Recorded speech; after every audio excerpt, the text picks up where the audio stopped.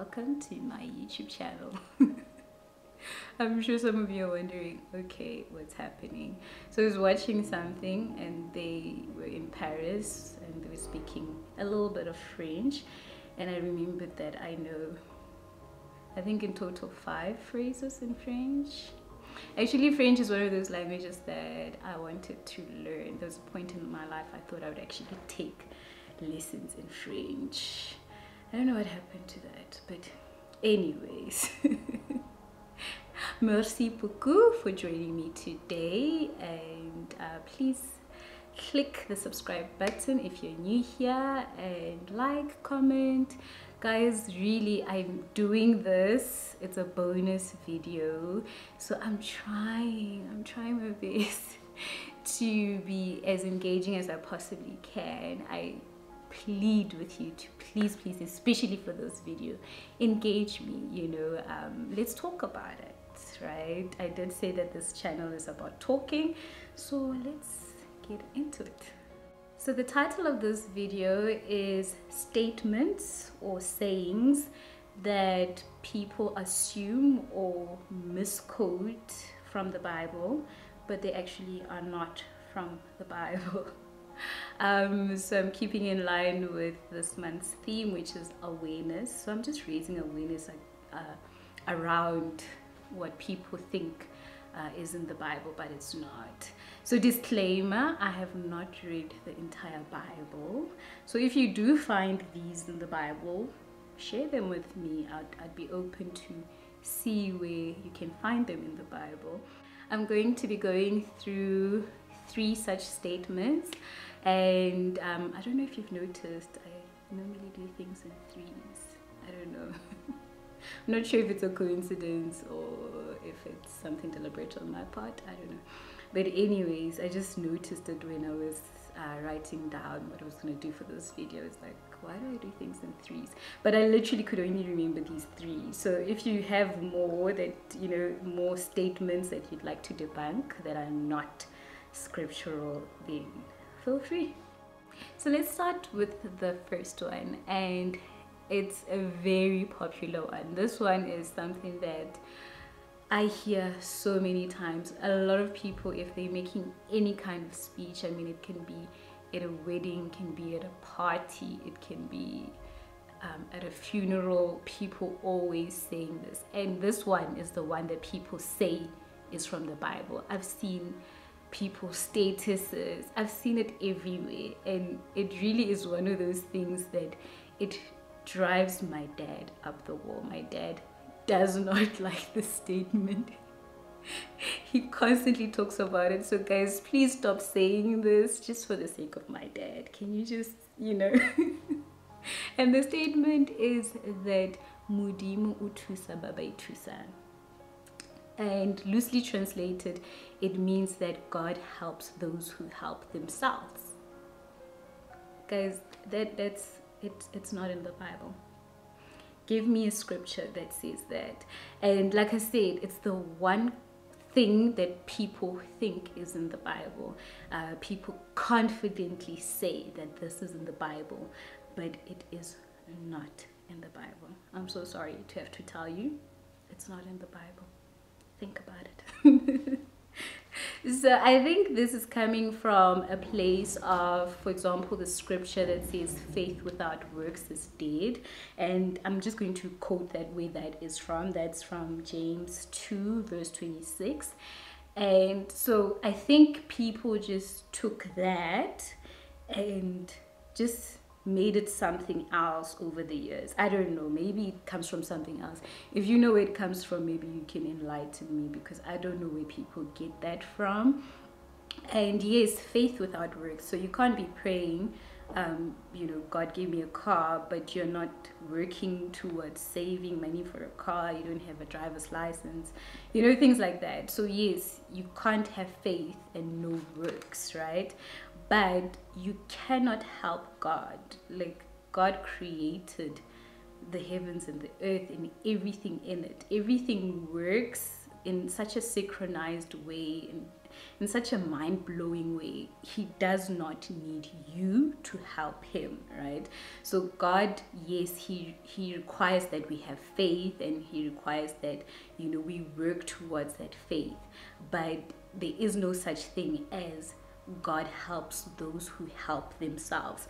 Because if you look at especially that statement that says those who help themselves, I think that's quite misleading. You know, God helps everyone. If if you need help, God will help you. If you ask God for help, God will help you as long as you are His child.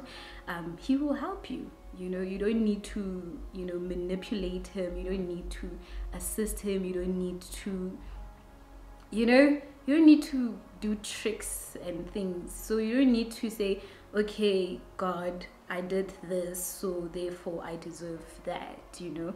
Um, the bible also teaches us that um, god does things according to his will. So that statement also is incorrect in that sense that if it's not in his will he won't do it right? So i think it's a very misleading statement. I think people like it. It's a popular statement. It sounds good. Um, i think um, it, it its purpose probably is to push people into action. However the problem that i have with it like i said is that end part helping yourself you know you need you need god right? And, and it's God who um, gives you the strength and the skills and the talents, whatever, um, in order to be able to do something, right? So I think there's actually, this statement is not a bad statement. Um, except for that last part, it as mentioned. However, I do think that people need to stop saying that it's in the Bible because it is not in the Bible, unless you can prove me wrong. So so this statement is actually, it's not a bad statement, except for the part that it does not exist in the Bible. It is nowhere in the Bible. It's not a bad statement. I think whoever came up with it was just trying to encourage people, you know, maybe to do something. I think um, it, it the intention was not to mislead people but i do feel that it is misleading. And to counter this statement uh, from a biblical perspective i'm going to read from second second corinthians 12 9 and it says my strength is made perfect in your weakness. So you know those areas where you feel that you are weak in them God says that His strength is made perfect in those areas. So, as I said, the statement is misleading because it's it tells you that if if you have an area that you're struggling with, you must do something about it, and then God will then come to your rescue and help you. God doesn't work that way. If you are struggling in a certain area, you go to God and say, Lord, I need help with this. And He will he is saying that that's where he is strong. Where you are weak that's where god is strong. So um, guys please stop misquoting the bible with this particular statement. Statement number two that i recently heard i think this statement correct me if i'm wrong but i think this is one of those statements that you find like um, on the taxi door. Okay in south africa please google south african taxis and how they look like it's it's basically like a minibus and normally on the door they would have like a I don't know, like a sticker saying something, you know, and it usually is just like these corny lines. And one of the lines I think is what I'm going to read now. And I heard somebody quote it the other day and say that it was from the Bible. And I was like, no, is not from the Bible. So the statement is love them all, but trust no one. Guys, I, I promise, I think this is from like those taxi doors. Um, so I mean, it sounds cool, love them all, but trust no one. But once again, this statement is not a biblical scripture. I don't know where people found this from. I tried to Google it. I tried to Google the origins. I couldn't find where the origins are from, but it, it's just, it's a quote. I don't know by who, but yeah, also misleading. It is not from the Bible. So, um, as you might be aware, the Bible talks about love, and um, there's a there's a there's a part where uh, Jesus talks about the greatest command being to love the Lord your God with all your heart, with all your soul, with all your mind, and he says the second greatest commandment is to love your neighbor as you love yourself. So he talks about love. The Bible talks a lot about love, but there is no place where I found this particular statement or where it talks about trusting um, and not trusting people. I mean, don't get me wrong, I'm not saying trust everybody, but love people and I mean, obviously use caution when it comes to trust. And that's the thing, actually, the statement doesn't even say in what context um, this trust is in, you know. I mean, obviously, I'm not gonna bump into a stranger on the street and automatically trust them. I might give them the benefit of the doubt to maybe listen to what they have to say, but it doesn't mean I have to trust them. But like I'm saying, the Bible only speaks about loving people, working together with other people, you know, doing what you can, you know, for other people to make their lives easier. You know, be kind to one another. But it it it it, it does not say anything about trust no one. So I think people just added that. but yeah, once again, this is a statement that is not in the Bible. Statement number three, the last statement, and this one is a bit more controversial. I actually want us to discuss this one. and it is modimo and loosely translated i'm trying to think how to put it. It means that god doesn't just give by the hand. But there's context to it. I feel like when i translate it in english it doesn't make sense. But basically in in the cases that i've seen personally people will maybe come across let's say money. Like you pick up some money and people will say the statement to say you know meaning that you know god gave me this money but you know he didn't give it to me directly right? Now i say it's controversial because it's it's okay it's not scriptural it's not scriptural. I, I i don't know. I, I didn't find it anywhere in the scripture. And if you did then let me know if, if there's any part in the scripture where you find that says that god doesn't give you direct gift. I guess not direct gifts. I feel like i'm actually translating it incorrectly. Somebody please translate it better than i did. But my point was that in most cases it's when people benefit from something and in some cases they can do something about it. So for example i've seen people say you know like somebody deposited money in my account and i don't know who it is and i went back to the bank. And people will say but why would you do that? You know why would you give um, the money away? And and you know even just finding something and maybe taking it to lost and found and people say mudima afika fela so meaning that god gave it to you. I think the context that particular context i think is incorrect and um, is very misleading because you only say that when it benefits you. But if you lost something right it's not so nice when you go to the lost and found and no one you know uh, brought back whatever it is that you might have misplaced you know using probably that same line saying that you know god gave it to them.